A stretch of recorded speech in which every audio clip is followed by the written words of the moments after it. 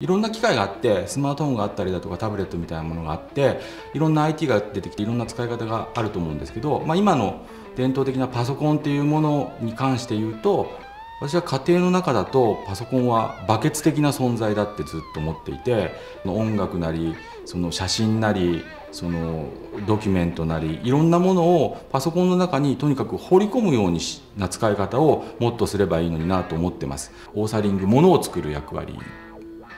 だと思うんですね。ものを見るだけだったらスマートフォンでもタブレットでもテレビでも何でもいいんですけどパソコンである以上やっぱものを作るか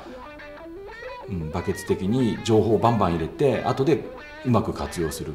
まあ、その人の生活なり仕事環境なりが、まあ、1ランク2ランク上に上がっていくんじゃないかなと私なんかは思います。一番強いのはやっぱり仕事の相棒ですね。これがなくては仕事ができない。常にそばにいて、えーまあ、本当に一番私の中では近い相棒っていう存在がパソコンだと思います。